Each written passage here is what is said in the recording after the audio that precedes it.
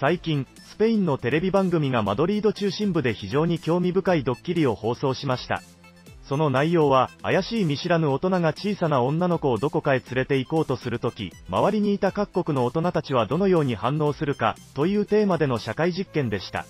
知らない子供が誘拐の危険にさらされているとき、大人たちは一体どんな行動をとるのかという疑問から始まった企画でした。マドリードの中心部で行われたこのドッキリでは、多様な国籍の人々が行き交っているため、もちろんその中には日本人も含まれていました。番組のパネリストたちは、各国の文化や社会の雰囲気が異なるため、出身国によって大人たちの反応も異なるであろうと予想していました。しかし、このドッキリで日本人だけが予想もしていなかった行動を示し、番組のパネリストたちを驚かせました。パネリストたちだけでなく、番組を見ていた視聴者も、日本人の意外な行動に驚き、話題となり、多くの海外コミュニティで、日本の文化には神秘的な何かがあるようだ、日本人だけがあんなに違った行動をするには理由があるだろう、という驚きの反応を示しました。他の人々とは違った特別な行動をする日本人は、彼らの視点から見れば、非常に興味深かったようです。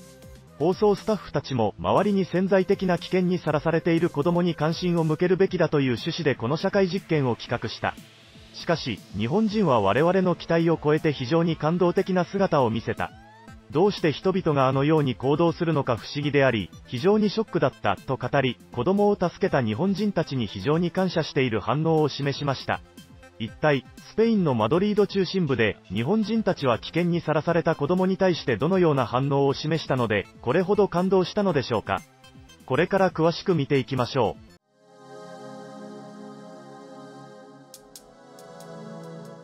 最近、スペインのある放送局が人々が子供の誘拐現場を目撃した時、どのように反応するのか、というテーマで社会実験を行いました。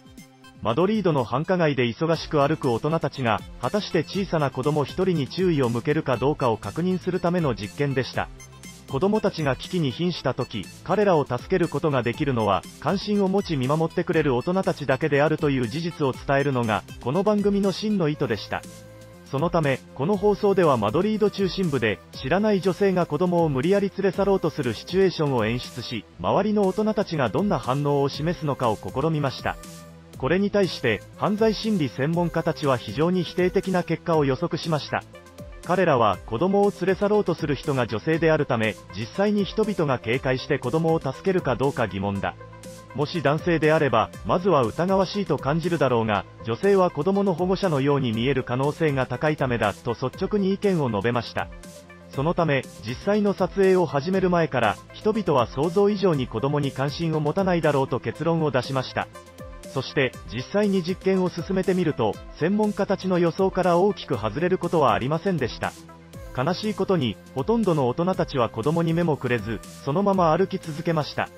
人々で賑わう都市の中心部で30度をはるかに超える高温の天気そして一見すると姉と弟やおばと甥が話しているように見える姿のためここにいる人々は関心を持たずにそのまま通り過ぎてしまったのです。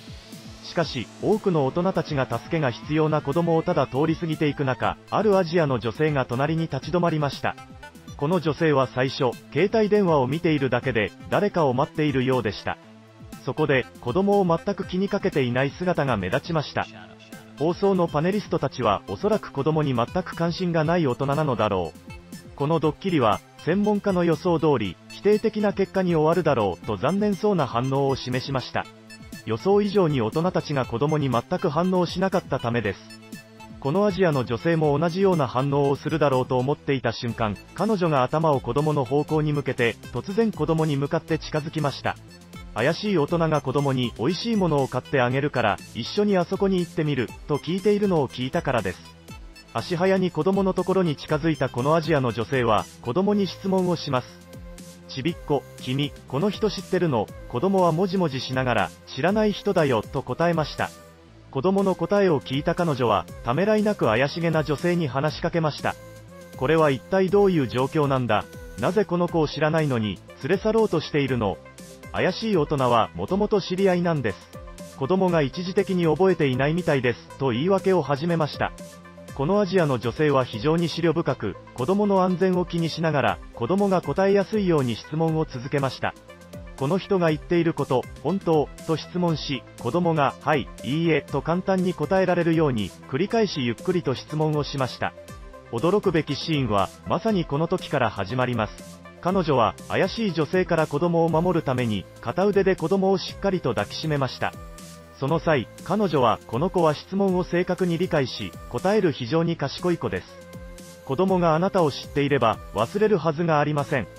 申し訳ないですが、ここで去ってください。子供は私が警察署に連れて行き、親を探してあげます、と断固として述べました。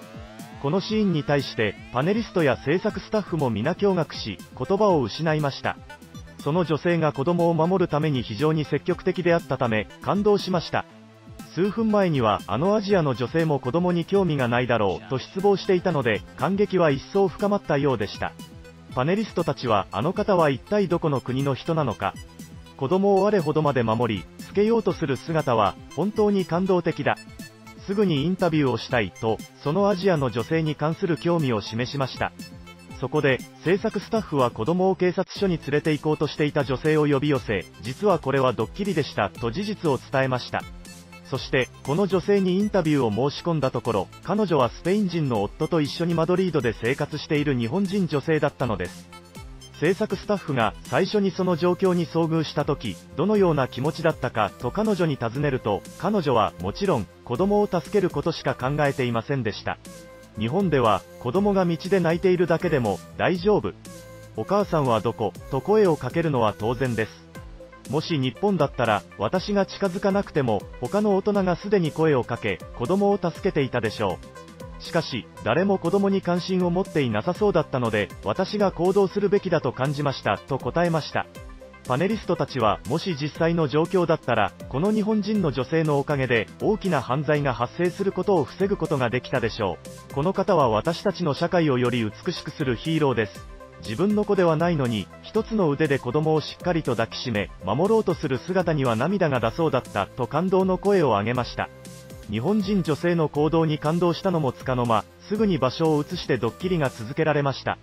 しかし、再び誰も子供に関心を持たず、マドリードの市民たちは自分の行く先に忙しそうに歩いていました。パネリストたちは、ヒーローは一人でももう十分だ、と視聴者を慰めようとしたものの、心の片隅にある残念さを隠すことができませんでした。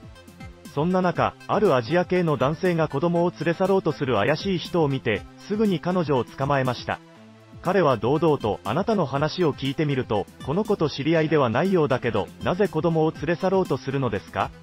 子供を無理に連れ去るな、と言いながら、子供をそっと自分の方へと引き寄せました。怪しい大人には断固とした態度で対応しつつ、子供に対しては非常に優しく気配りをしていました。